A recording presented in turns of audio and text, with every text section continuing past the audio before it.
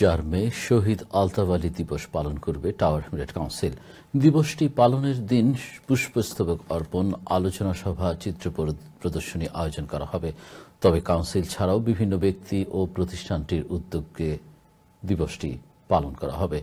উল্লেখ্য, বাঙালি যুবক আলতাবালি উনিশশো সাতাশি সালের চৌঠা মে পূর্ব লন্ডনের এডলার স্ট্রিটে বর্ণবাদীদের হাতে নিহত হন।